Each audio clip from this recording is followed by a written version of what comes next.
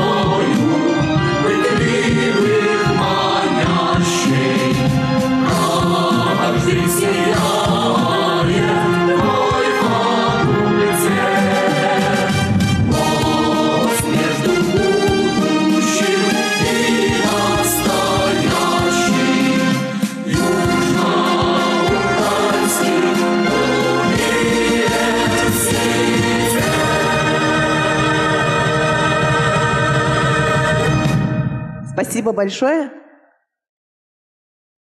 Я хочу пригласить на эту сцену для открытия Дня открытых дверей и для того, чтобы рассказать о том, что на сегодняшний день ждет всех пришедших в наш университет, проректора по учебной работе, доктора экономических наук, профессора, депутата городской думы города Челябинска Андрея Владимировича Шмидта.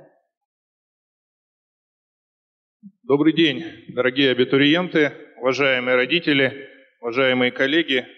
По поручению ректора университета, профессора Шестакова Александра Леонидовича, присутствующих здесь деканов факультетов, директоров институтов и высших школ, представителей профессорско-преподавательского состава и сотрудников университета, я рад вас приветствовать в актовом зале Южноуральского государственного университета. Сегодня Весь наш дружный коллектив проводит для вас День открытых дверей. Наша встреча носит ознакомительный и мотивационный характер.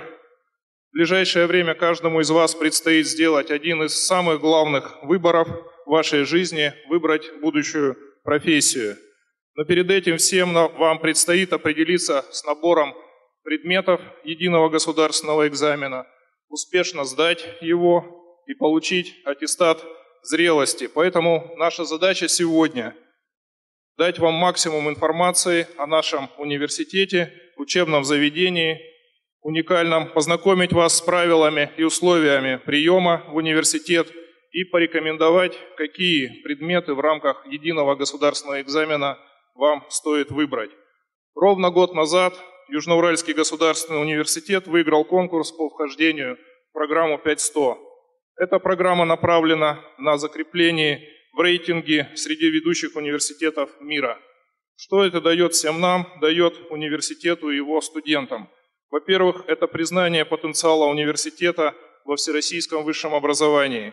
Во-вторых, эта программа позволяет выйти на уровень ведущих университетов мира. ЮРГУ становится универсальным передовым учебным заведением, которое вобрало в себя лучшие мировые практики. Таких вузов в нашей стране очень немного, а в Челябинской области такой университет единственный. Таким образом, наш университет к 2020 году должен стать глобальным центром образования и науки. И ключевым моментом здесь является прежде всего уровень научных исследований. Для того, чтобы достичь таких высоких результатов, коллективом университета была разработана и защищена на Международном совете соответствующая дорожная программа или э, дорожная карта наших действий. В основе проекта 5.100 следующие четыре ключевые позиции, четыре международных мегапроекта. Я бы хотел остановиться на этом подробнее. Во-первых, это исследования в области аэрокосмоса, где главными являются инженерные и, естественно, научные направления нашего университета. Сегодня в Челябинской области наблюдается увеличение спроса на инженерные специальности. Все больше выпускников школ выбирают физику в составе единого государственного экзамена. Университет располагает в этом плане большим количеством бюджетных мест, и сегодня ответственный секретарь приемной комиссии Александр Васильевич Губарев это покажет. Второе направление – это обработка больших массивов данных или big data и суперкомпьютинг. Мы являемся лидерами в этом направлении в нашей стране. Мы являемся лидерами также в международном пространстве – этот проект связан с развитием современных информационных технологий и суперкомпьютинга, которые пронизывают все направления развития нашего университета. Третье актуальное направление, современное направление мирового уровня, это создание новых композитных материалов, в том числе с применением нанотехнологий. Эти материалы используются в альтернативной энергетике, солнечной энергетике, водородной энергетике – и мы в этом направлении начинаем работать с научными центрами не только нашей страны, но и с зарубежными коллегами. А четвертое направление относится к человеку. Человек – это главное, мы должны помогать ему развиваться, иметь комфортную среду. В университете появилось новое направление научных исследований – это молекулярные механизмы борьбы со стрессом. Для достижения успеха по данным ключевым направлениям в университете создана уникальная научно-исследовательская лабораторная база. Данные научно-образовательные центры оснащены уникальным оборудованием мирового уровня. В нашем университете создана лаборатория суперкомпьютерных технологий, построен компьютер, аналогов которому нет в России. Также в Юргу созданы лаборатории в области электроэнергетики, энергоснабжения в области металлургии и современного машиностроения, химии и физики. Перечисленные приоритетные направления являются глобальными в развитии человечества, но это не значит, что мы работаем только с ними. В университете гармонично развивается гуманитарное, естественно, научное и техническое образование. В Южноуральском государственном университете реализуются уникальные учебные программы для подготовки журналистов – среди студентов.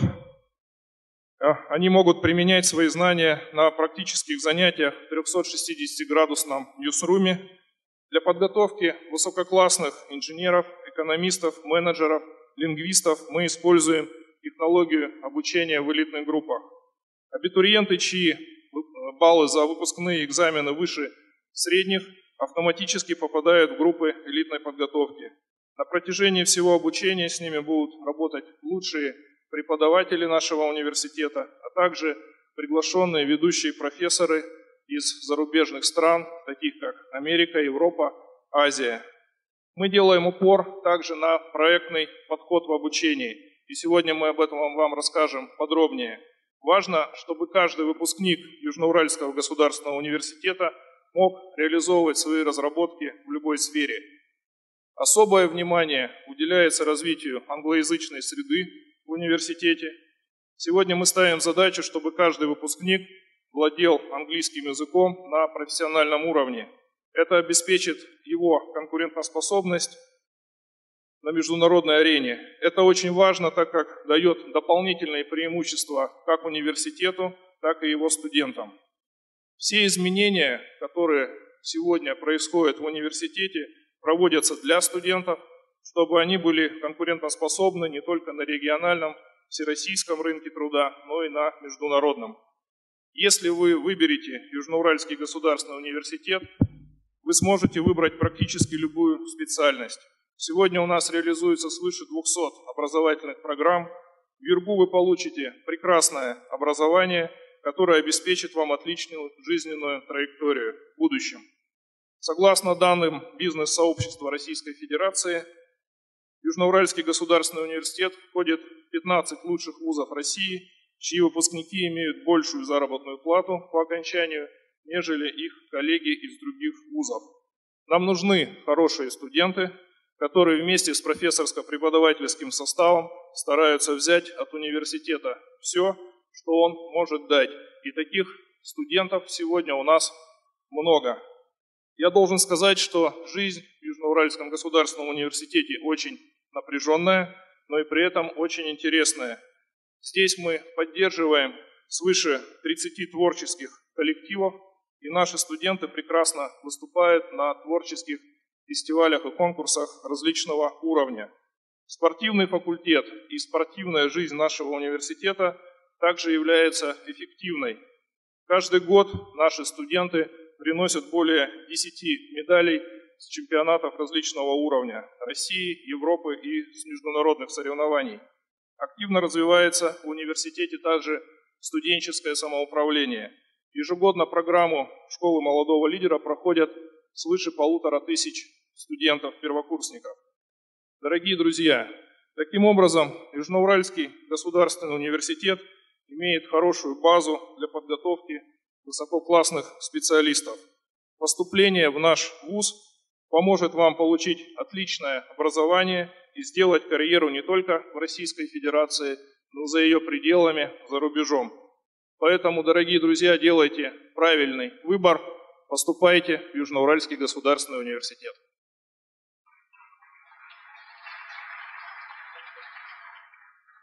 Спасибо.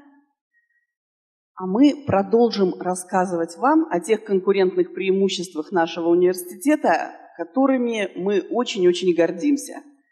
Вы смотрели фильм, который был посвящен военному факультету, а затем и факультету военного обучения. И для тех из вас, кому очень интересно, каким образом можно соединить обучение в университете и службу в армии, я хочу пригласить на эту сцену заместителя начальника военного факультета полковника Крикунова Константина Николаевича.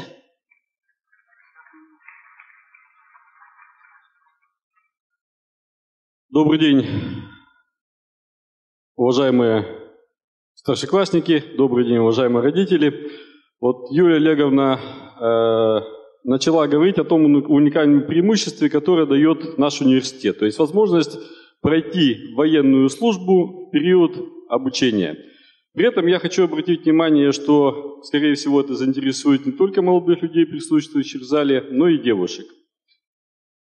На факультете военного обучения реализуется несколько программ подготовки. Это программа подготовки офицеров запаса, сержантов и солдат запаса. Различаются они, разумеется, содержанием – и продолжительностью обучения.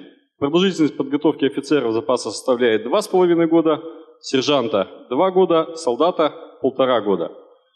То есть период своей основной учебы вы проходите подготовку на факультете, и после окончания университета вам присваивается соответствующее воинское звание, то есть либо лейтенант запаса, либо сержант, либо рядовой. Вы зачисляетесь в запас, вооруженных сил и не подлежите призыву на военную службу. Но я хотел бы обратить внимание, что те, кто пожелает связать свою жизнь со службой Родине, имеют возможность поступить на военную службу по контракту, как вооруженные силы, как и, так и в любые другие силовые структуры. Я хочу сказать, что у нас довольно много примеров, когда наши выпускники делали успешную военную карьеру, дослужились в том числе до генералов. В этом году мы достигли соглашения о подготовке кадров в интересах Службы защиты государственной тайны Министерства обороны Российской Федерации и военной прокуратуры. И более 20 наших выпускников Те, кто закончил в этом году факультет военного обучения, те, кто закончили университет, изъявили желание и пошли проходить службу по контракту на офицерских должностях. Учитывая то внимание, которое сейчас уделяется государством вооруженным силам, то есть и размер денежного удовольствия, то есть заработной платы, и те социальные льготы, которые предоставляются военнослужащим, в общем-то, это далеко не самые плохие условия для выпускника нашего университета. Каковы критерии отбора к нам на факультет? Прежде всего, это гражданство Российской Федерации и годность по состоянию здоровья к военной службе. Кроме этого, мы оцениваем успеваемость студента, степень его физической подготовленности, результаты профессионально-психологического отбора, то есть степень развития тех индивидуально-личностных качеств, которые необходимы для прохождения военной службы. Ну и, разумеется, мы оцениваем степень мотивации к службе. То есть, пройдя вот этот весь отбор, мы э, выстраивается дальше рейтинг, э, аналогично тому, который выстраивается при поступлении в университет, и затем производится зачисление кандидата на ту или иную программу обучения, либо офицер, либо сержант, либо солдат. Я хочу обратить внимание, что приоритет при подготовке офицеров запаса отдается тем студентам, которые будут обучаться на технических направлениях и специальностях.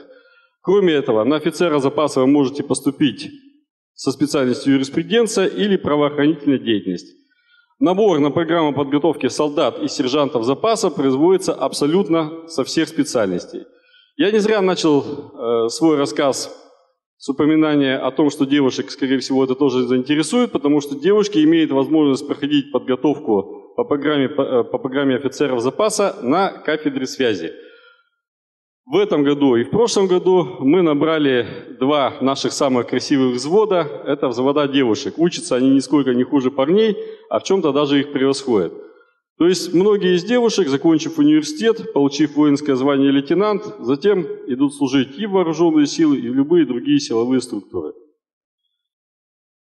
Поэтому мы ждем вас в университете и на факультете военного обучения. Спасибо. Константин Николаевич будет находиться в зале. Если у вас будут вопросы, вы по окончанию нашей встречи можете их задать. Вот э, на сегодняшний день, когда мы читаем и изучаем, анализируем рынок образовательных услуг, все чаще и чаще звучит, что в ряде вузов России внедряется проектное обучение.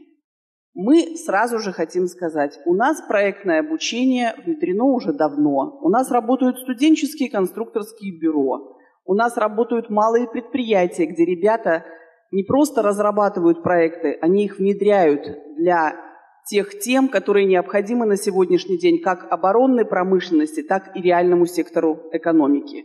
У нас есть специализация, которая дает возможность уметь управлять проектами. И я хочу предоставить слово доктору экономических наук, профессору Леониду Александровичу Баеву, который в течение многих лет по поручению губернатора Челябинской области ведет чемпионат проектного управления с тем, чтобы вы послушали, приняли участие и сразу же создали для себя конкурентные преимущества при обучении в ВУЗе. Спасибо, Юлия Игоревна. Э, добрый день, уважаемые коллеги. Здравствуйте, ребята. Э, вы знаете, мой доклад называется «Проектно-ориентированное образование э, в Южноуральском государственном университете». И, как Юлия Олеговна совершенно справедливо сказала, мы этим занимаемся давным-давно, и вот совсем недавно узнали, что это передовой край технологии образования. Поэтому мы сочли целесообразным несколько слов сказать об этом. Первое, я хотел бы вам задать три вопроса, если вы позволите, на которые есть один ответ, один общий ответ – Э, вопрос такой. Скажите, пожалуйста, что нужно для успеха в жизни? Вопрос второй. А для успеха в образовании и в карьере? Вопрос третий. А для успешного развития страны в целом? Как вы думаете? Будьте добры, дайте слайд, пожалуйста. Для этого нужно правильно ставить цели и наилучшим образом достигать их. Именно этим занимается прикладная наука и профессия управления проектами.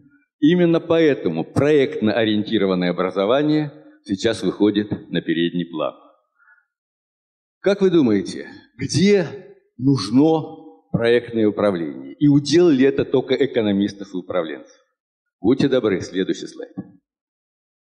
Посмотрите, вот это усеченная классификация проектов. Что здесь? Научно-технические, организационные, экономические, социальные и прочие, и прочие, и прочие, и прочие. И вот тут внизу написано, что практика показывает, что навыки и знания, и умения в области проектного управления совершенно необходимы всем специалистам. Для чего? Для того, чтобы правильно ставить цели и наилучшим образом их достигать. Будьте добры, следующий слайд. Почему вдруг так активно сейчас в России внедряется управление проектами? Да дело в том, что идей у нас очень много, очень много. Но часто эти идеи непрофессионально подготовлены. Тем более их носители не всегда умеют грамотно разработать план их реализации и еще в большей степени не умеют управлять доведением их до конкретных э, эффективных результатов. И вот как раз в этом плане и производится ориентация, мощная ориентация в нашей стране на проектное управление. Пожалуйста, следующий слайд. О чем я хотел сказать? Вот буквально неделю назад принят указ о создании проектного офиса в правительстве Российской Федерации. Вы знаете, что этот указ принят по рекомендации президента нашей страны Владимира Владимировича Путина. Второй момент. Почему этот указ принят? Да дело в том, что опыт показывает, что проектно ориентированные организации, они достигают наивысших успехов даже в условиях кризиса. О чем говорят примеры Росатома, это самый передовой хай-тек, хай-тек в мире – и пример, скажем, Сбербанка, который в прошлом году в условиях кризиса получил прибыль, которая больше трети от всей прибыли банковской системы Российской Федерации. Ясное дело, что другие более мелкие предприятия, проектно-ориентированные, тоже успешны в этом деле. Плюс к тому, и об этом сегодня говорилось, та программа 5100, которая является пионерской и лидерской программой в области развития российского образования, тоже ориентирована и использует проектные технологии. Если говорить о среднем и малом бизнесе, то нужно сказать, что вот буквально в эту пятницу силами Высшей школы экономики и управления нашего университета начинается реализация двух программ при содействии э, э, фонда э, инжинирингового, инжинирингового образования и опоры России э, в Челябинске и в МИАСе. И нужно сказать, что действительно мы эту программу, когда начинали, мы думали 20 человек группа там, 20 человек группа там. Сейчас мы вынуждены перепланировать аудитории, потому что все желающие просто не входят в запланированные ранее. Что же касается студентов? Нужно сказать, что буквально завтра э, команда нашего университета вылетает в Москву на конкурс, длительный конкурс, организованный фондом Рыбакова. Кто такой Рыбаков? Это один из богатейших инноваторов России, кстати, уроженец Магнитогорска. Что предлагается в этом а, проекте? Предполагается, что студенты вузовских команд, куда входят реально и технические студенты технических специальностей, и юристы, и экономисты, я по существу называю состав нашей команды, будут разрабатывать проекты социально-экономического развития, получая соответствующие гранты от 100 тысяч до миллиона рублей. И вот завтра в Москве открытие этой программы, и наши дети с металлургического факультета, извините, я по инерции беру старое название, вот, юристы и экономисты туда вылетают. Что же касается э, разнообразия сфер применения проектного управления, то я об этом уже неоднократно сказал. Будьте добры, следующий слайд. И вот теперь несколько слов о проектно-ориентированном образовании. Суть его в чем? Суть в том, что создаются проектные команды из студентов разных специальностей, которым прикрепляется куратор, и которые в процессе обучения поэтапно разрабатывают и защищают конкретные проекты. Для чего? да, для того, чтобы впоследствии, будучи специалистами, научиться правильно ставить цели и, что самое главное, эффективно их достигать. Вот. Надо сказать, что об этих технологиях вот первые публикации появились в 2012-2014 году. Как я уже сказал, в рамках второго высшего образования, в рамках магистратуры мы занимаемся в нашем университете этим более 10 лет. Пожалуйста, следующий слайд. С прошлого года эта технология внедряется в подготовку бакалавров. Следующие шаги. Первое. В процессе обучения студенты генерируют проектные идеи, которые проверяются на прочность так называемым краш-тестом. Формируются команды, к которым прикрепляются кураторы. Третье. В учебном режиме разрабатывается и защищается конкретный проект. Часто эти проекты весьма-весьма реальны, и наш опыт показывает, что они потом востребованы различными предприятиями. Не в массовом порядке. Ну, до массового порядка, естественно, нужно дорасти. Дальше. А дальше вот что. Дело в том, что э, вот по такой технологии обучаются все студенты, которые задействованы э, у нас на кафедре и теперь уже в Высшей школе экономики и управления, но лучших нужно продвигать дальше. И вот уже по существу подписан приказ о реализации в рамках университета э, чемпионата э, по проектам «Твой мир, твой проект». Опять же, этот чемпионат междисциплинарный. Более того, я должен сказать, что, будьте добры, следующий слайд. Этот чемпионат, он проводится под идеей или по, под эгидой Международной ассоциации молодежного управления проектом Янкарю. Сюда на защиту проектов прилетит ее президент по российскому направлению, вице-президент по международному направлению. Вот и здесь наш вуз тоже является пионером. В каком плане? Да дело в том, что принято решение уже в Москве о проведении на базе нашего вуза первого национального чемпионата по проектному управлению среди молодежи в возрасте до 35 лет. Защиты проектов будут проводиться на английском языке по одной простой причине. Во-первых, победители этого чемпионата будут получать сертификат специалиста международного уровня в области проектного управления. И во-вторых, победители этого чемпионата – будут представлять нашу страну на чемпионате мировом. Вот это тоже то, что наш университет имеет в явном преимуществе по отношению к другим высшим учебным заведениям. Будьте добры, еще следующий слайд. Теперь вот тот чемпионат, о котором говорила Юлия Олеговна. Дело в том, что 7 лет подряд, в этом году восьмой, по поручению губернатора Челябинской области мы проводим чемпионат по проектному управлению среди школьников который реализуется практически в течение года, включает в себя шесть этапов является профессионально ориентированным. Я думаю, что здесь есть, присутствуют школьники, которые в этом чемпионате участвовали, которые могут сказать, что цель его достигается. А цель какая?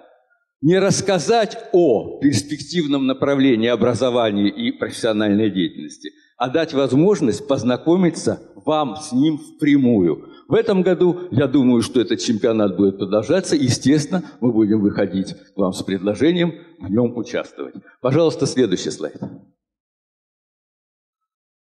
Что я хочу сказать в заключение? Дело в том, что в силу того, что проектное управление очень широко используется во всех областях и сферах деятельности и внедряется в образовательный процесс, мы совершенно уверены, что это не удел экономистов и управленцев.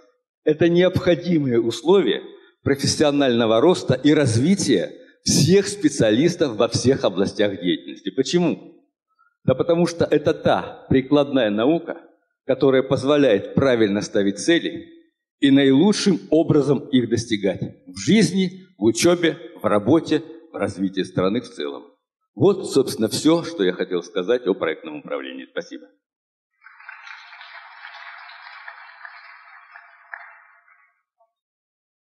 Вопросы, если будут, к Леониду Александровичу. Леонид Александрович здесь в зале, и затем он останется здесь в зале для того, чтобы дать все возможные нужные консультации. А я продолжу наш рассказ о конкурентных преимуществах Южноуральского государственного университета и тех возможностях, которые вы, абитуриенты, имеете у нас в университете.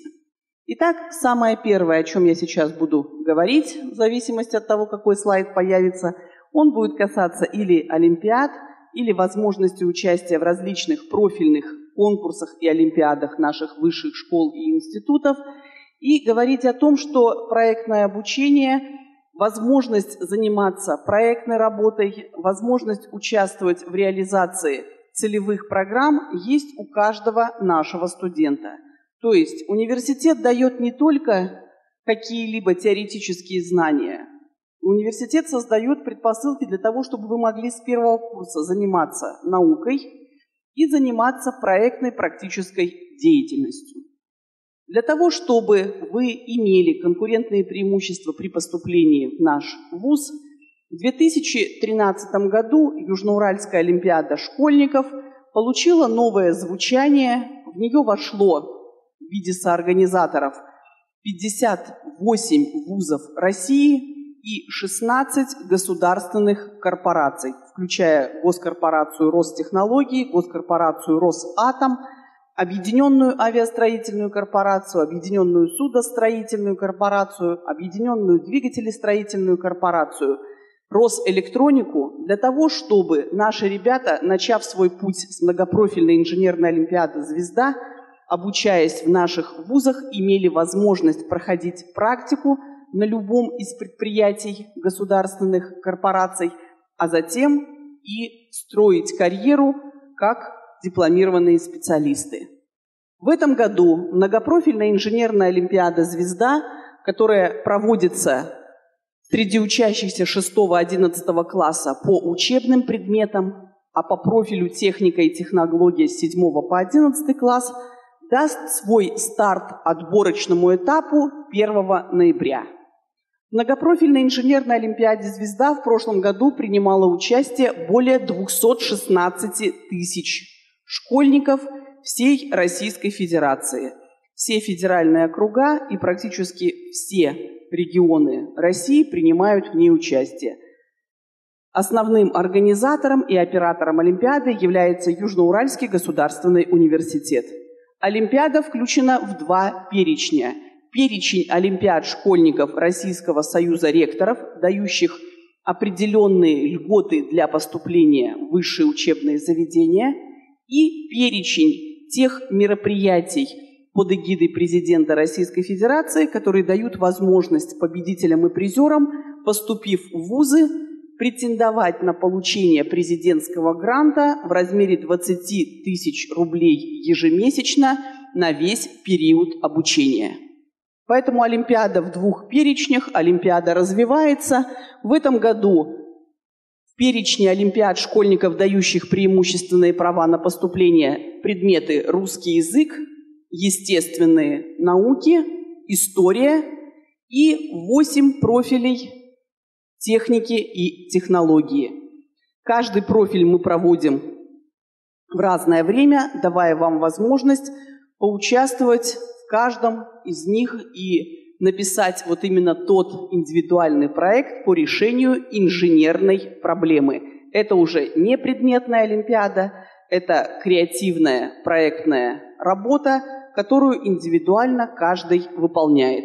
В школах Челябинской области отборочный этап, согласно расписанию, которое вы видите, будет проводиться прямо на территории школ, поэтому участвуйте, принимайте более активное участие, а в феврале-марте мы будем проводить заключительный этап. Для города Челябинска он проводится в городе Челябинске как в самом Южноуральском государственном университете, так и на площадках отдаленных районов, в Металлургическом районе на площадке юридического института, в Советском районе на площадке экономического колледжа проводится, в Тракторозаводском районе на площадке Института спорта, туризма и сервиса идет проведение.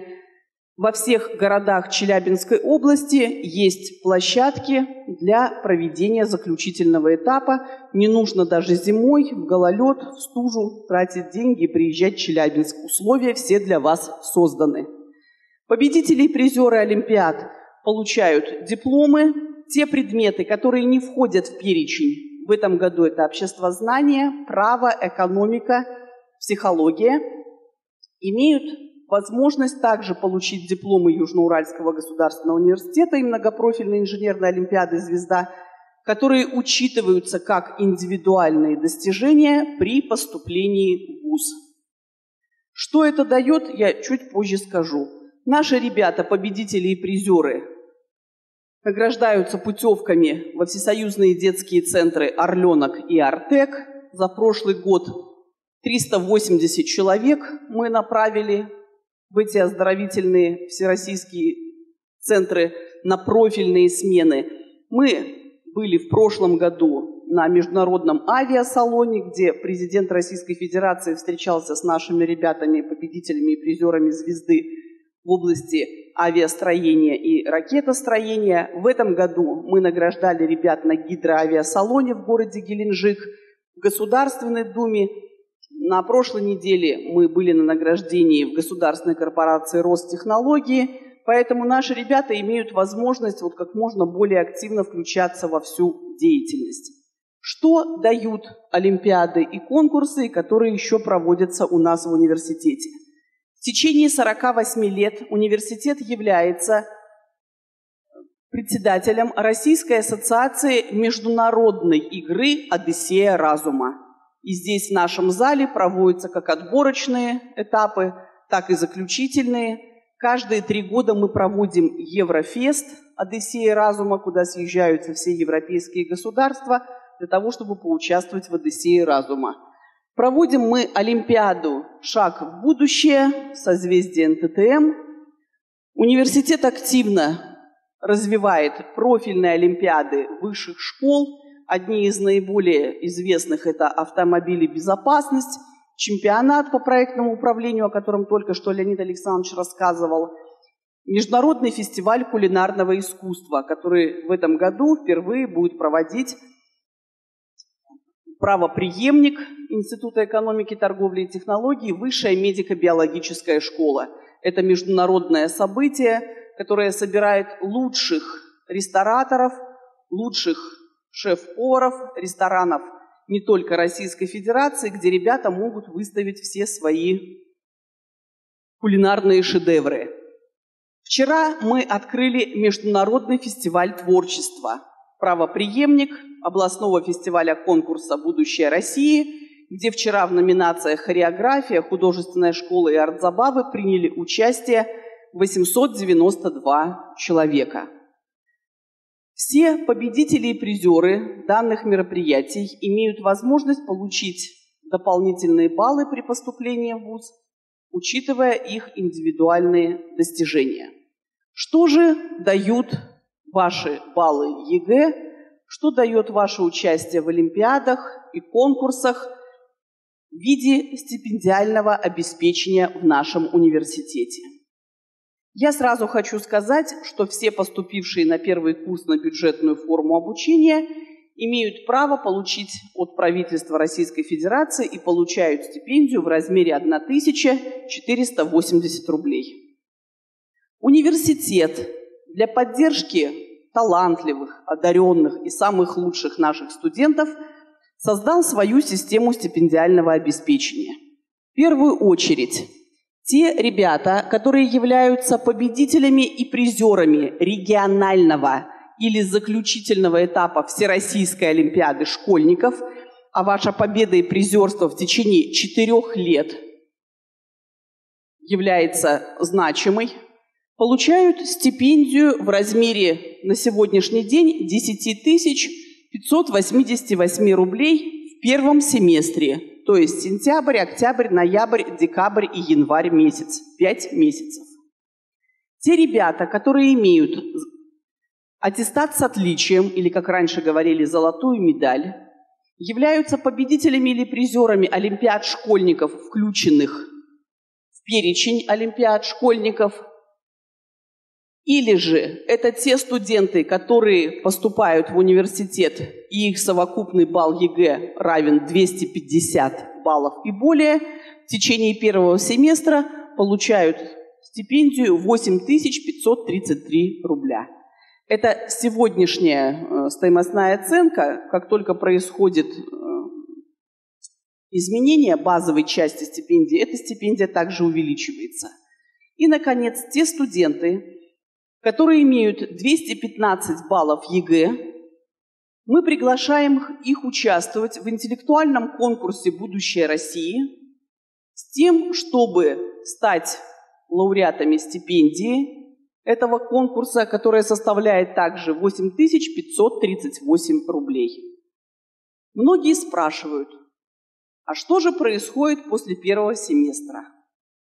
Ну, в конце каждого семестра вас ожидает сессия – которой нужно готовиться не после Нового года, а готовиться нужно к ней, начиная с 1 сентября. И вот в зависимости от ваших учебных достижений, которые вы накапливаете в течение года, в зависимости от ваших достижений в науке, в олимпиадном движении, в профориентационной работе, в волонтерской деятельности, вашей активности в профсоюзной и общественных организациях ЮРГУ, стипендии могут быть разными. Максимальная стипендия в нашем ВУЗе составляет 25 тысяч рублей. Поэтому 30 видов стипендии дают возможность вам, став успешными в том или ином направлении и учась без троек, получать большую, хорошую стипендию. Все в ваших руках. Это точно так же, как на вопрос, где я буду работать, мы всегда отвечаем. У нас есть очень много различных работодателей, у нас есть очень много интересных предложений. Вот как раз мы 3 ноября можем пригласить вас на День карьеры госкорпорации «Росатом», которые приезжают сюда, будут проводить различные конкурсные мероприятия, центральную лекцию, и 10 предприятий «Росатома» по всей России будут здесь набирать для себя студентов на практику и для дальнейшего трудоустройства. Мы условия предоставляем. Насколько вы себя зарекомендуете на практике, насколько вы покажетесь интересными и ресурсными для вашего работодателя, зависит, на какое рабочее место вас пригласят. У нас бывает, что ребята очень хорошо показывают себя на производственной практике, и последний год обучения, к сожалению, они заканчивают уже на свободном графике, потому что работодатель предлагает ему очень интересную, высокооплачиваемую работу и большой карьерный рост. Все в ваших руках.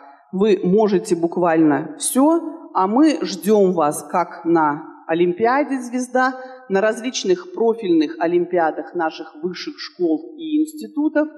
Мы ждем вас на всех наших мероприятиях. Именно поэтому мы сегодня вам раздали анкеты.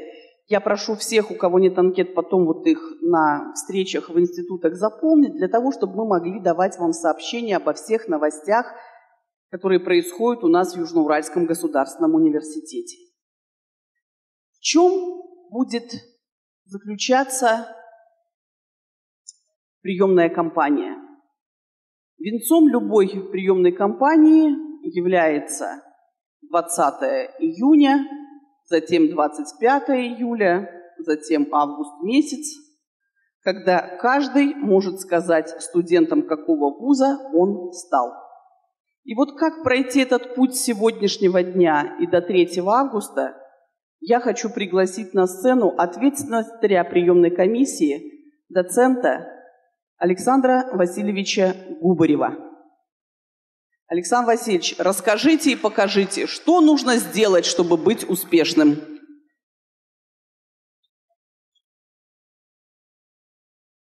Так, нелегкую задачу мне Юлия Олеговна сформулировала, да? но я постараюсь. Значит, моя задача, вот как я ее вижу, да, это облегчить жизнь нашим будущим абитуриентам, будущим студентам, вот именно в летний период создать для этого свои условия. Вот Леонид Александрович сейчас выступал здесь, да, я как первый раз слышал про проектное управление, откручиваю себя назад, вот в плане ну, технологий приема в наш университет, мы, оказывается, 10 лет уже тоже какие-то вот эти вот основы проектного управления в плане организации приема тоже отслеживаем. Поэтому, ну, поехали по порядку. Следующий слайд, пожалуйста. Вот этот слайд, он создан 10 лет назад, как раз он немножко меняется в зависимости от изменения правил приема. 10 лет назад мы были впереди планеты всей, ну, планеты под названием Россия. Сейчас те положения, которые мы 10 лет назад реализовали в своем университете, они ну, обязательно для всех вузов страны. Их три года назад включили федеральное правило приема. Поэтому, ну, наверное, наверное, видите и читаете, да, основные положения. То, что участие в конкурсе на три направления, вот э, я оговариваюсь, да, я сейчас все рассказываю для тех, кто будет поступать после окончания школы или техникума, неважно, учреждения СПО, на бюджетное обучение, на программы бакалавриата и специалитета. Если вопросы будут по магистратуре, это потом индивидуально поговорим. Оговариваю сразу еще да, то, что у нас в ВУЗе реализуются все ступени образования да, после школьного. Это программа среднего профессионального образования, программы бакалавриата, программы специалитета, программы магистратуры, ну и аспирантура дальше. Весь мой разговор в основном будет вот здесь вот сейчас про поступление на бюджетное обучение, на программу бакалавриата и специалитет. Так вот, в заявлении можно указать одновременно три направления подготовки или три специальности. От вас требуется всего один комплект документов – ну и мы со своей стороны, ВУЗ гарантирует максимальную открытость всех процедур приема, то есть вся информация обо всех участниках будет размещаться оперативно на сайте университета. Следующий слайд. Вот картиночка сложная, и вам ее в раздаче, наверное, раздали. Это кто как поступает, какие экзамены сдает. Поэтому я на этом слайде останавливаться не буду. Дальше будут э, комментарии вот по, уже по составляющим. Следующий слайд. Вот, ну, по опыту предыдущих встреч подобных, да, предполагаю, что в зале у нас в основном школьники. Но на всякий случай попрошу поднять руку выпускников колледжей, техникумов, то есть учреждений среднего профессионального образования. Так, одну руку только увидел. Две. Ну ладно. Но я был прав, да, в основном это школьники. Значит, выпускники школ уже давно в нашей стране прием вузы только по результатам единого государственного экзамена. Вот у нас тут родители присутствуют еще, да, и если кто-то из родителей собрался поступить на программу высшего образования, вы зря улыбаетесь, таких достаточно много – да, то если это образование школа и закончена школа, пусть даже в прошлом веке, все равно надо сдавать единый государственный экзамен. Ну, все-таки в основном-то у нас нынешние школьники, да? Выпускники техникумов могут поступать и по нашим экзаменам, могут сдавать единый госэкзамен. Одна из задач вот нашей сегодняшней встречи – определиться, с выбором экзаменов. Да, перечень экзаменов я вам не могу со сцены рассказать, да, вы в раздаче его получили, определяетесь. Запись на экзамены, ну вот в школах, наверное, уже сейчас вас требуют предварительные какие-то мысли, да, что собрались сдавать. Значит, наши рекомендации, они практикой приема да, подтверждаются. Не ограничивайтесь минимумом экзамена. Да? То есть русский язык, математика – это обязательное, это понятно, да? Значит, выбирайте еще два дополнительных, да. Кто осилит, выбирайте три предмета с тем, чтобы потом была возможность выбирать между близкими специальностями, где окажутся ну, разные наборы экзаменов. Так, кто выпускники прошлых лет, может быть, присутствуют и захотят сдать экзамены. Да, запись для Челябинсков – это Володарского, 14. Запись до 1 февраля, ну, лучше раньше. Так, следующий кадр. Вопросы возникают по поводу математики. Какую математику сдавать? Есть базовая, есть профильная. Так вот, на те направления подготовки, где в наборе экзаменов есть математика, это только профильная математика. Там, где математики нет, например, юристы у нас не сдают, журналисты не сдают математику, да, там, в принципе, она и не нужна, да, поэтому можно сдавать базовой. Но еще раз напоминание, да, и предупреждение. Вот достаточно часто летом приходится ну, видеть слезы, да, и когда сделать ничего не можешь.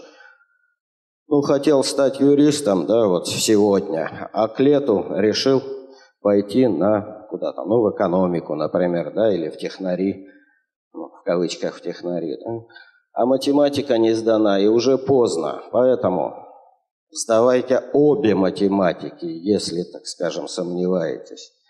То есть, чем больше сдадите экзаменов, тем легче будет делать выбор и участвовать в конкурсе и в наш вуз, и в другие. Больше шансов будет. Следующий кадр. Так, ну увидели последнюю строчку, наверное, не прокомментировал. Для выпускников прошлых лет, то действительно результаты, начиная с 2013 года. Результаты ЕГЭ.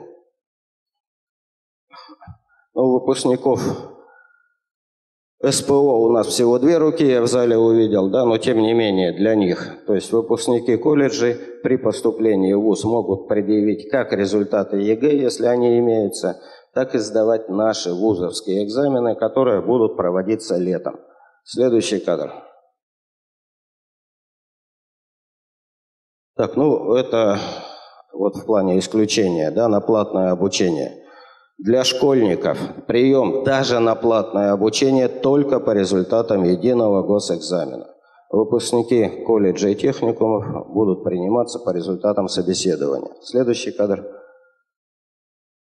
Так, льготные категории, вот полный перечень льгот именно федерального уровня представлен на слайде, комментировать сильно не буду. Будут отдельные потом вопросы, у кого индивидуально, ну, дам консультацию, да, поговорим. Льготные категории, льготники у нас поступают в пределах квоты, так называемой. Да? То есть эта квота составляет 10-20% величины этих квот, в принципе, хоть сейчас можете посмотреть на сайте университета по каждой специальности, они у нас опубликованы. Следующий кадр. Вот Юлия Олеговна про Олимпиады достаточно много вам говорила, да, и рекомендовала. Я поддерживаю ее рекомендации. Ребят, участвуйте в Олимпиаде. Это ну, помимо того, что просто интересно и познавательно, еще и ну, дает какие-то дополнительные бонусы при поступлении в ВУЗ. Вот победителям, победителям российских олимпиад, входящих вот в перечень Министерства образования, да, это либо поступление без экзаменов, да, либо 100 э, баллов вместо единого государственного экзамена при условии, вот последнюю строчку, то вдруг кому не видно, да? 75 баллов по ЕГЭ по предмету Олимпиады. 75 баллов набрали, в Олимпиаде победили. Считайте себя студентами университета. Следующий кадр. Индивидуальное достижение. Вот в третий год в стране э, это, так скажем, ну, новация задействована при поступлении в ВУЗ – Перечень индивидуальных достижений, которые наш ВУЗ предоставляет, вот он. Это спортивные соревнования высокого уровня победы. Это золотой значок ГТО 10 баллов. Это аттестат с отличием 10 баллов. Это результаты участия в олимпиадах разного уровня. Да, вот те, которые не дают право поступления без экзаменов, другие олимпиады, тоже до 10 баллов. И волонтерская деятельность, здесь уже немножко поменьше, это 3 балла. То есть, если вот какие-то достижения есть, пожалуйста, приносите документы, мы их проверяем и дополнительное к сумме баллов за результаты ЕГЭ, вот это вот сверху приплюсовываем. Значит, только обратите внимание вот на фигурную скобочку, да, если у вас вдруг есть все достижения, мы вас с удовольствием поздравим, да, но баллов все равно будет 10. Так, ну и сочинение, сочинение, итоговое сочинение школьников, которое вы будете писать где-то в декабре, наверное, ну, оно никак не влияет на поступление. Следующий, пожалуйста, слайд. Ну, это вот дальнейшее а, подтверждение по Олимпиаде, то есть мы даем дополнительные баллы за индивидуальное достижение для участников всех Олимпиад, организатором которых или соучредителем является наш университет. Следующий кадр. Ну, здесь уже вот эти вот баллы. Да? Если запоминать, наверное, смысла большого нет. Если у вас есть подобные достижения, будут к лету до следующего года приносите, мы разберемся, какие баллы давать. Следующий кадр. Ну, уже к технологии, да, вот сейчас-то у вас понятна задачка достойно завершить школу, да, выбрать экзамены, получить высокие баллы. Что же делать потом? Как поступать в вузы, да, у каждого из абитуриентов в соответствии с российским законодательством, да, есть право поступления в пять вузов – ну, надеюсь, у присутствующих один-то вуз выбран уже, да, раз сюда пришли. Значит, как к нам поступать? Какие варианты? Ну, первый, самый простой вариант – это личными, лично, да, то есть прийти в университет, даты я там попозже покажу, и сформировать свое заявление.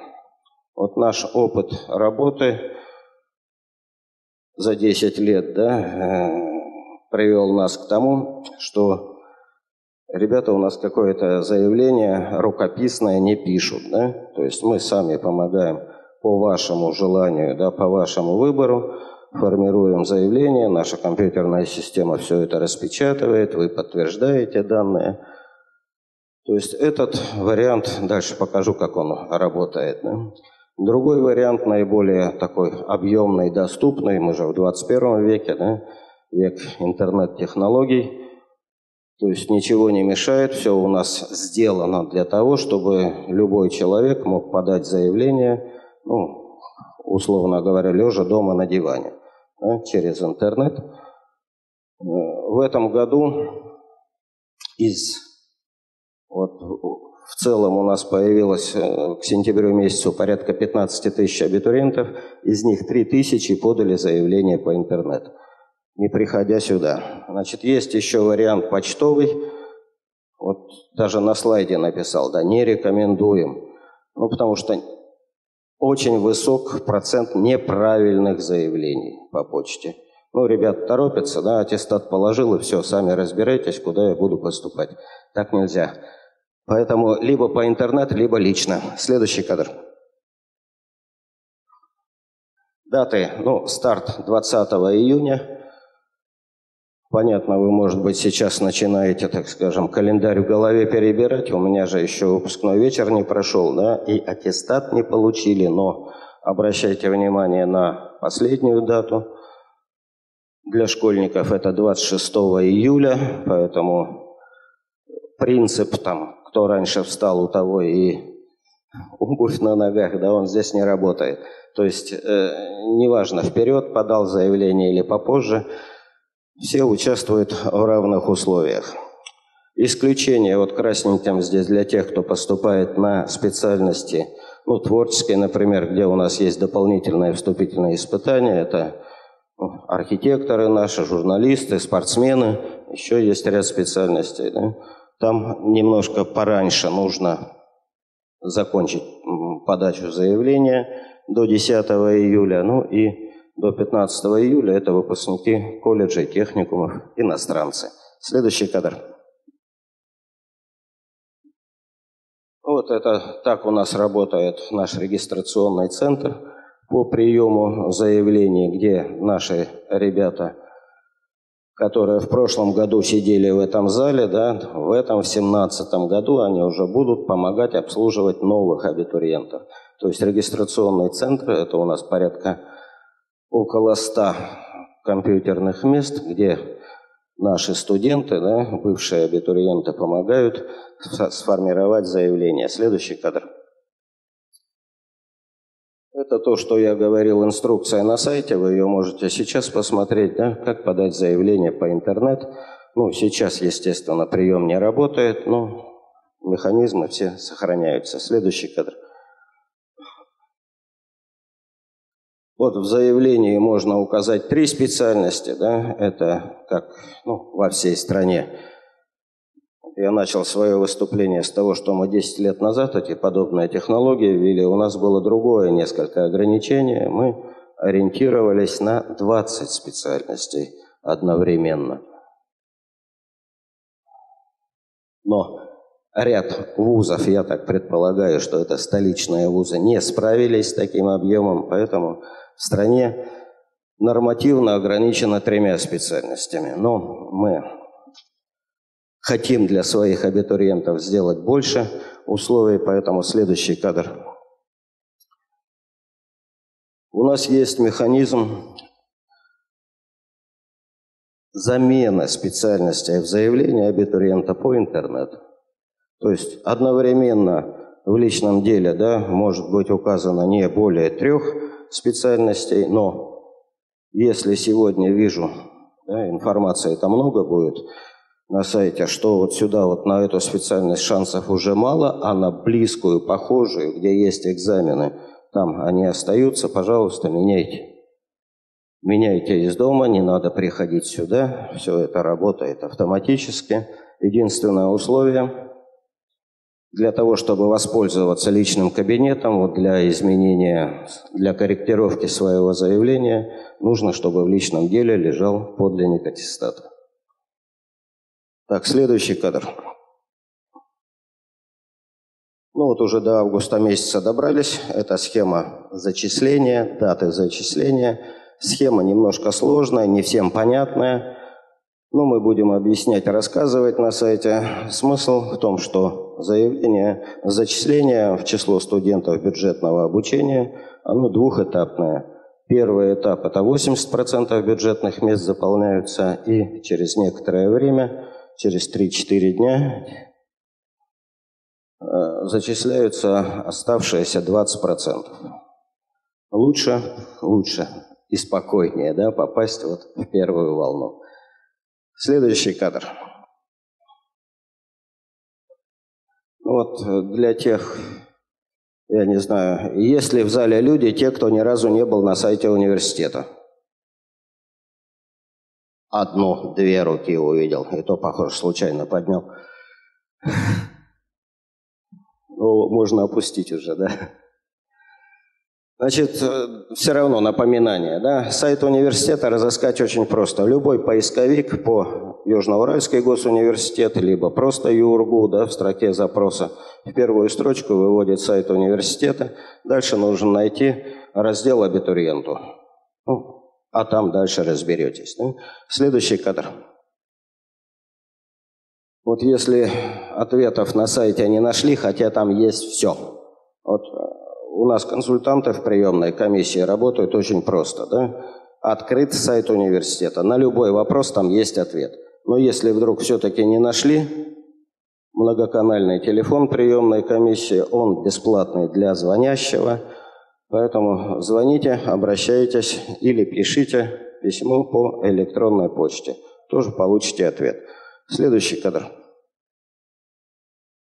Ну, еще вот одна особенность нашего университета, по крайней мере, в нашем регионе. Да? Если абитуриент при поступлении дает нам разрешение на отправку ему смс ну, в общем-то, не вижу здесь смысла запрещать. То есть, если вы сообщили номер своего сотового телефона, то вся основная информация по ходу приема будет в форме смс отправляться к вам на телефон и какая-то общая, и персональная в том числе. Ну вот последняя строчка, она явно персональная, да, чего Всем и желаю сохранить эту смс потом на память, да, что поступил, стал студентом Южноуральского государственного университета. Чего всем и желаем, да, и детям, и родителям, чтобы они радовались за детей. Спасибо. Еще раз добрый день, дорогие абитуриенты, уважаемые родители. Сегодня мы собрались в этом зале полным составом. Здесь присутствуют мои коллеги, заведующие кафедрами Высшей школы экономики и управления Южноуральского государственного университета. Мы готовы дать вам полную, исчерпывающую информацию по поводу обучения а, Высшей школы, школе экономики и управления. И с радостью ответим на ваши вопросы. У нас Значит, сегодня такая а, организационная встреча. Мы хотели бы дать вам а, полную информацию о Высшей школе экономики и управления, затем рассказать об особенностях. У нас а, с сентября 2016 года начала функционировать зона элитной подготовки. Кроме того, у нас в большом количестве, относительно, конечно, инженерных специальностей есть также и бюджетные места. Мы по тем контрольным цифрам приема, которые планируются на 2017 год. А, тоже хотели бы представить вам информацию. С октября 2016 года у нас начала действовать школа молодого экономиста, и мы хотели бы тоже сегодня до вашего сведения эту информацию довести. Ну и кроме того, учеба в университете – это, конечно же, прежде всего учеба, занятия, но также и насыщенная студенческая жизнь. И вот некоторые аспекты этой насыщенной жизни мы хотели бы тоже довести до вашего сведения. Но вначале несколько мотивационных моментов. Да, я тут приготовил а, слайды для того, чтобы вам было удобно воспринимать информацию.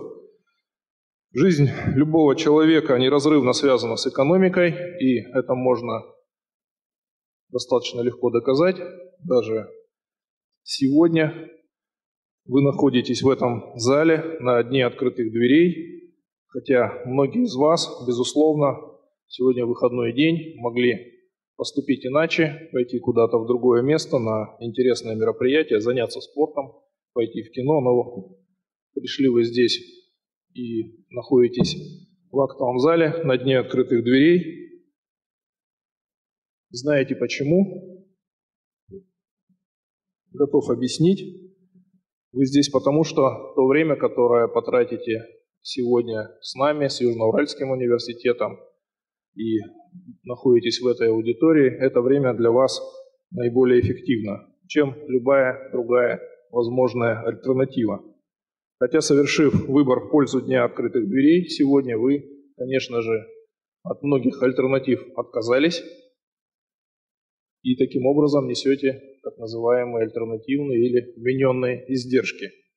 Но информацию, которую вы планируете получить здесь и сегодня, для вас она наиболее актуальна и принесет вам большую полезность, как показано на соответствующем слайде. Таким образом, вся наша жизнь пропитанная и неразрывно связана с экономикой и рациональным выбором человека экономического или homo economicus.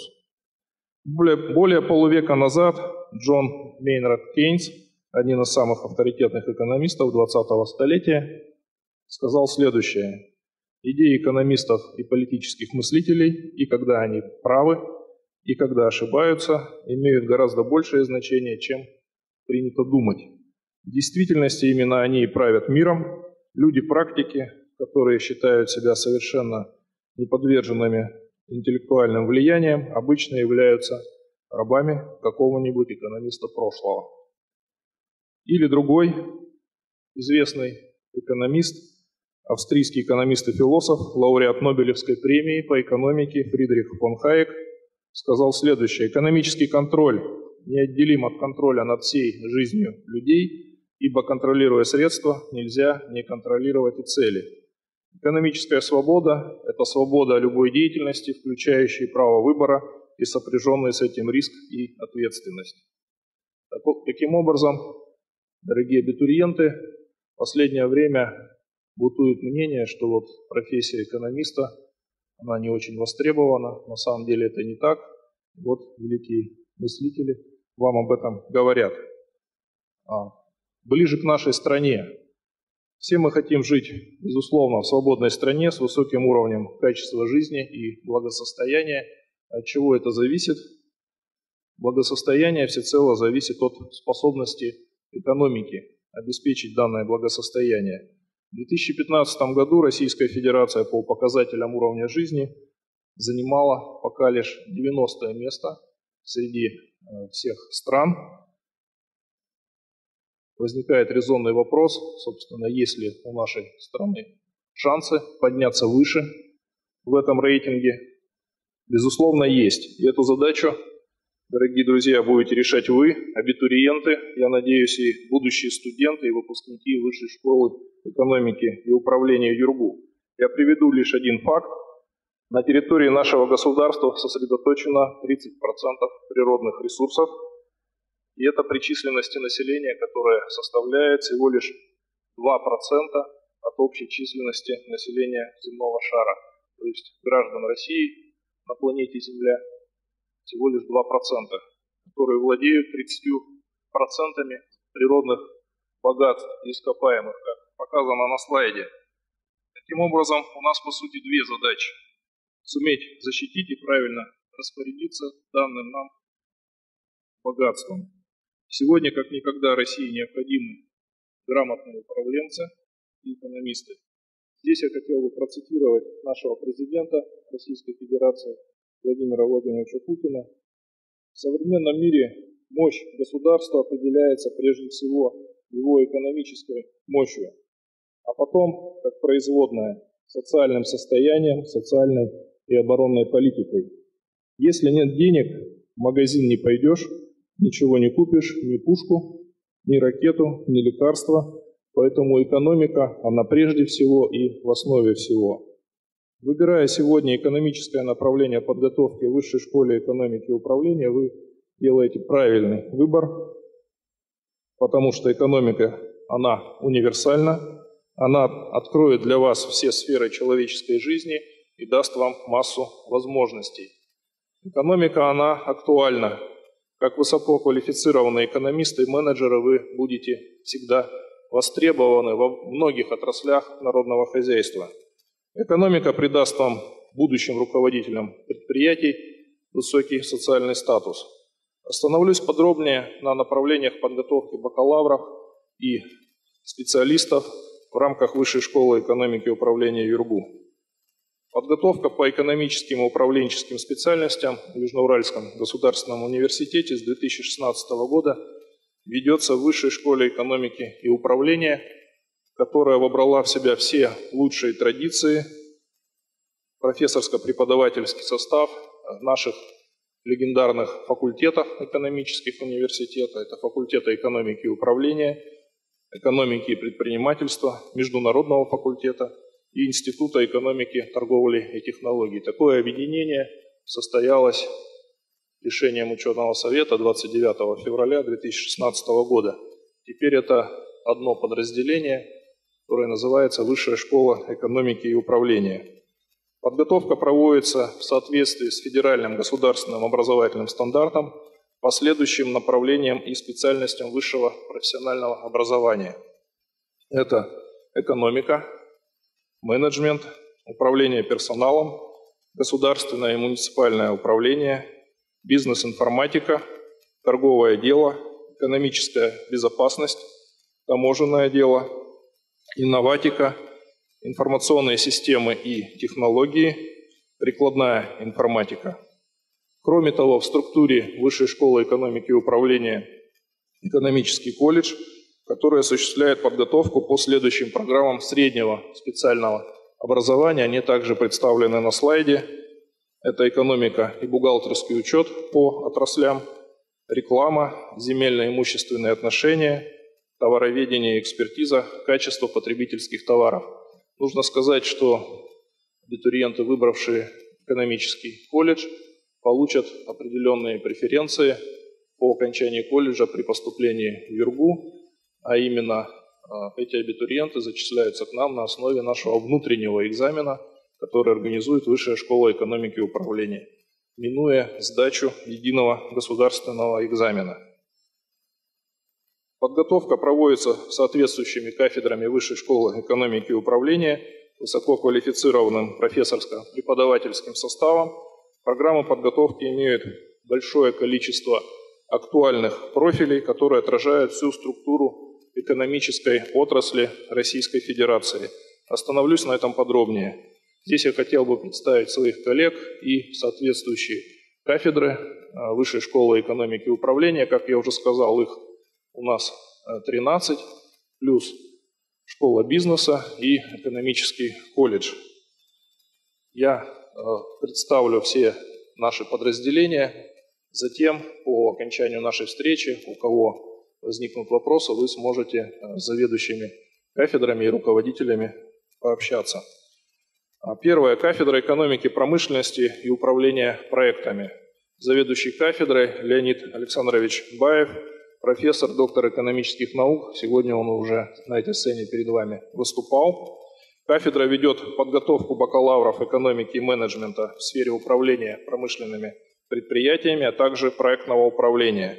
Данные направления подготовки чрезвычайно актуальны для экономики нашего промышленного Уральского региона.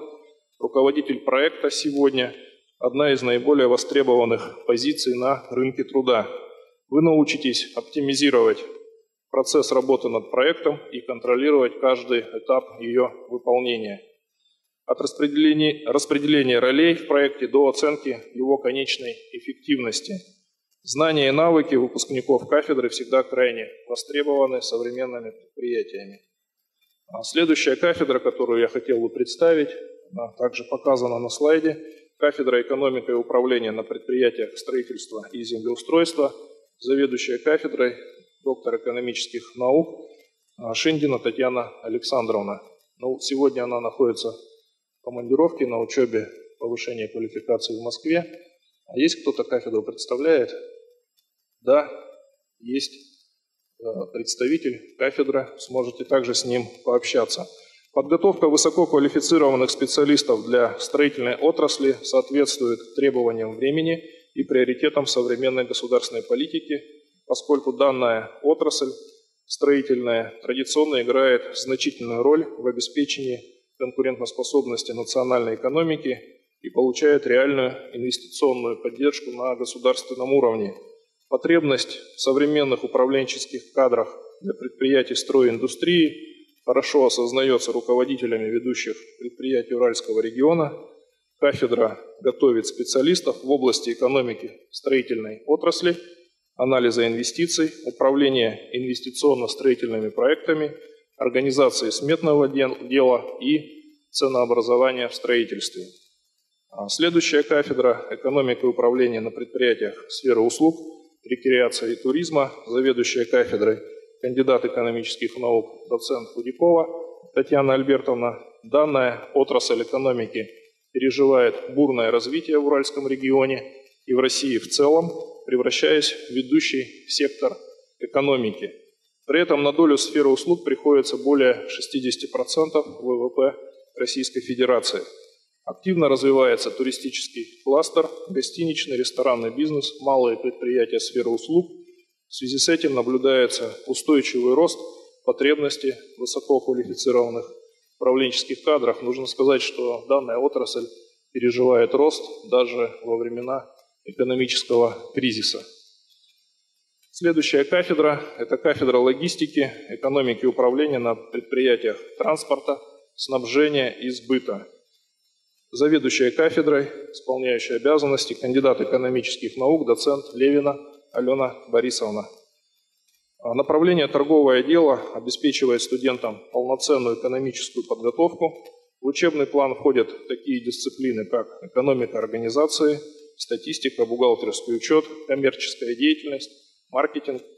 Уделяется внимание гуманитарным предметам, которые повышают профессиональный уровень и компетенцию будущих специалистов по торговле. Например, изучается менеджмент, правовое регулирование профессиональной деятельности, рекламная деятельность, информационные технологии профессиональной деятельности. Кафедра финансов, денежного обращения и кредита. Заведующий кафедрой, доктор экономических наук, профессор Игорь Александрович Баев, также сегодня здесь с нами, в этом зале. Финансовый менеджер отвечает за управление денежными средствами предприятия. В любой компании, деятельность которой так или иначе связана с получением дохода, финансовый менеджер является одним из важнейших специалистов. Он берет на себя задачу по планированию потоков денежных средств, им принимаются решения об их размещении, получении кредитов, планировании бюджета. Среди общепрофессиональных дисциплин будущие финансисты осваивают бухгалтерский учет, экономический анализ, банковское дело и основы аудита. К специальным дисциплинам относятся такие предметы, как теория финансов, теория денег и финансовых рынков, финансовый менеджмент, финансовый анализ, инвестиционный анализ. Практику наши бакалавры проходят в отделениях банков и финансовых отделов различных организаций. А следующая кафедра – это кафедра бухгалтерского учета, анализа и аудита. Заведующий кафедрой, доктор экономических наук, профессор Просвирина Ирина Игоревна. Кафедра готовит экономистов, осуществляющих профессиональную деятельность в финансовых отделах и бухгалтерских службах коммерческих организаций различных сфер деятельности, производственной и торговой, а также в налоговых органах, органах федерального казначейства, во внебюджетных фондах. Деятельность экономических субъектов невозможна без организации учетных процессов и подготовки бухгалтерской финансовой отчетности по итогам работы в отчетном году, анализа деятельности и принятия современных управленческих решений. Поэтому данная профессия всегда будет востребована, в особенности тогда, когда мы, я имею в виду Российскую Федерацию, переходим на международные стандарты финансовой отчетности. И кроме того, вот кафедра бухгалтерского учета в нашем университете мы видим такую цель и задачу стать одним из центров вообще-то компетенций на всероссийском уровне в области бухгалтерского учета. Кафедра маркетинга. Заведующая кафедрой доктор экономических наук, профессор Ирина Юрьевна Окольничникова здесь, в этом зале. Выпускники владеют навыками стратегического, экономического и оперативного планирования в условиях рыночной экономики, осуществления анализа и координации деятельности всех структур предприятия с учетом изменений в конъюнктуре рынка. Обладают опытом использования ключевых инструментов маркетинга для регулирования стратегии предприятия в условиях конкуренции. Спектре умений маркетолога развитие товарного ассортимента, определение ценовой политики, выбор каналов распределения, формирование коммуникационной политики предприятия и так далее. Эти знания и навыки выпускников данной специальности – позволяет им претендовать на престижную работу. Следующая кафедра Высшей школы экономики и управления – это кафедра управления инновациями в бизнесе. Заведующий кафедрой доктор экономических наук, доцент Бабанова Юлия Владимировна. В учебном плане направления инноватика сочетаются экономические, управленческие и инженерно-технические дисциплины. Студенты изучают системный анализ и механизмы принятия решений, промышленные технологии и инновации. Штудируют метрологию, стандартизацию, сертификацию, теоретическую инноватику, маркетинг в инновационной деятельности. Практикуются в управлении инновационной деятельностью и инновационными проектами. Следующая кафедра Высшей школы экономики и управления – это кафедра информационных технологий в экономике. Заведующий кафедрой доктор технических наук, профессор Борис Максович Суховилов. Здесь бакалавры получают общую теоретическую подготовку в области разработки, управления и эксплуатации информационных систем, автоматизации предприятий и производств, организации работы IT-служб предприятий. Помимо информационных дисциплин изучают логистику, стратегический менеджмент, информационное право, моделирование и оптимизацию бизнес-процессов, архитектуру корпоративных информационных систем. Обязательная составляющая обучения – это тренинги по овладению практическими инструментами работы. Кафедра экономики труда и управления персоналом. заведующая кафедрой, доктор педагогических наук, профессор Резанович Ирина Викторовна. Стать хорошим специалистом студентам помогает целый ряд изучаемых дисциплин, среди которых экономические, управленческие, правовые и социальные. С первых курсов студенты проходят весь спектр экономических предметов, статистику, экономическую теорию, финансовый менеджмент, маркетинг, правоведение, управление персоналом и психологию труда, что позволяет молодым людям овладеть профессиональными навыками, а затем отточить их на практике, которые обычно проходят в ведущих кадровых службах наших э, компаний. А, кафедра «Экономическая теория», «Региональная экономика», «Государственное и муниципальное управление». Заведующая кафедрой, доктор экономических наук, профессор Антонюк Валентина Сергеевна. Да, здесь Валентина Сергеевна с нами сегодня в этом зале. Областью профессиональной деятельности специалистов в области ГМУ является управление на федеральном, региональном и муниципальных уровнях власти. Основные направления профессиональной деятельности специалистов – это обеспечение эффективного управления в органах государственной и местной власти в соответствии с требованиями и тенденциями развития социально-экономической и политической среды, совершенствование экономической, политической, организационной и социальной жизни общества – решение вопросов взаимодействия государства и его региональных и муниципальных образований. Дорогие друзья, движемся далее. Кафедра экономической безопасности, заведующий кафедрой доктор экономических наук, доцент Анжелика Викторовна Карпушкина. В обязанности специалиста по экономической безопасности входят расчет экономических и социально-экономических показателей – производство судебных экономических экспертиз, экономическая экспертиза нормативных актов, разработка рекомендаций в сфере обеспечения экономической безопасности коммерческих предприятий, оценка возможных финансовых потерь, обеспечение законности и правопорядка в сфере экономики, планирования и проведения финансового контроля. А, нужно сказать, что две специальности – экономическая безопасность и таможенное дело – это именно специалитет, а не бакалавриат, и обучение здесь э, не 4 года, а 5 лет соответственно. Кафедра таможенного дела, заведующий кафедрой, кандидат экономических наук, доцент Степанов Евгений Александрович. Значит, все, кто желает на таможню, вот к Евгению Александровичу записывайтесь.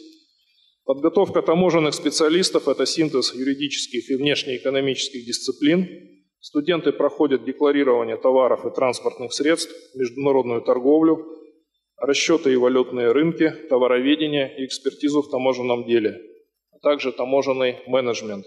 Знакомятся со спецификой документа оборота в таможенных органах и ценообразования во внешней торговле. Изучают тонкости таможенных процедур, таможенного контроля, таможенного оформления товаров и транспортных средств. Также штудирует экономику таможенного дела. А, дорогие друзья, это вот я перечислил 13 кафедр и все направления и профили подготовки. Кроме того, в структуре Высшей школы экономики и управления школа, Высшая школа бизнеса, руководитель школы бизнеса, доктор экономических наук, профессор а, Горшенин Владимир Петрович. Владимир Петрович сегодня также находится в командировке. А, есть представители вот Юлия Владимировна, я думаю, также сможет представить школу бизнеса, заведующей кафедрой инноватики. Управление любым коллективом и предприятием – это сложная наука. Программа обучения бакалавров бизнес-администрирования рассчитана на студентов, которые хотят изучить научные принципы управления и применения их на практике. Обучение проводится совместно с открытым университетом Великобритании – во время обучения студенты получают уникальные знания об управлении различными отраслями бизнеса и проходят стажировку, во время которой закрепляют полученные знания на практике. Для студентов обязательно углубленное изучение английского языка. В процессе обучения студенты овладевают искусством разработки бизнес-стратегии, бизнес-тактики, выработки решений в кризисных ситуациях По окончании бакалавриата студент получает диплом британского образца, возможно дальнейшее обучение по программе MBA. А, собственно, в школе бизнеса а, пройти обучение по программе мастер делового администрирования могут все выпускники бакалавриата и специалитета Высшей школы экономики и управления, то есть выпускники не только а, школы бизнеса. И, наконец, экономический колледж, директор экономического колледжа, кандидат педагогических наук, заслуженный учитель России Константин Генрихович Трот. Здесь также с нами в этом зале – как я уже сказал, колледж осуществляет подготовку по программам среднего профессионального образования, экономика и бухгалтерский учет по отраслям, реклама, товароведение, экспертиза качества потребительских товаров, земельно-имущественные отношения. Поступление в экономический колледж производится на базе 9 и 11 класса. Выпускники колледжа имеют возможность поступления на экономические специальности Южноуральского университета без сдачи единого государственного экзамена на основе наших внутренних экзаменов. Дальнейшее обучение в Высшей школе экономики и управления для этих ребят осуществляется по ускоренной программе. А, в начале нашей встречи было сказано, что университет участвует в программе 5100, и в связи с этим в университете планируется реализовать большое количество мероприятий для того, чтобы сделать вашу карьеру успешной. Я бы здесь хотел более подробно назвать а, основные мероприятия, которые коснутся каждого студента а, Высшей школы экономики и управления непосредственно. Во-первых, это формирование индивидуальных образовательных траекторий, привлечение ведущих зарубежных ученых к преподавательской деятельности, формирование англоязычной среды, в том числе реализация англоязычных образовательных программ, выделение зоны элитной подготовки для талантливых абитуриентов с высокими баллами ЕГЭ, развитие программ двойных дипломов, программ включенного обучения совместно с зарубежными вузами-партнерами, организация элитного бизнес-образования в рамках подготовки бакалавров и магистров бизнес-администрирования, развитие системы стипендиального обеспечения и грантовой поддержки, организация взаимодействия университета с высокотехнологичными зарубежными и российскими компаниями, мировыми лидерами, в том числе организация практик и трудоустройства в эти компании. Вовлечение студентов Высшей школы экономики и управления, формирование инновационной предпринимательской среды университета, молодежный бизнес-инкубатор, инновационный центр, виртуальный банк, биржа, и так далее. Внедрение новых моделей и технологий образования, таких как а, массовые онлайн-курсы, так называемые МУКи, а, ЛМС-обучение, e-learning и так далее. То, что сегодня активно внедряется в международном образовательном пространстве. Для подготовки управленцев широкое использование профессиональных кейсов, деловых и организационно-деятельностных игр. Дорогие абитуриенты, свое выступление я начал с проблемы выбора. Сейчас перед вами стоит главный выбор, выбор будущей профессии. От этого выбора в значительной степени зависит ваш будущий успех. Думаю, присутствующие родители подтвердят мои слова. Поступайте в Южноуральский университет, Высшую школу экономики и управления смелее. Мы вам поможем. Сделайте правильный, успешный выбор.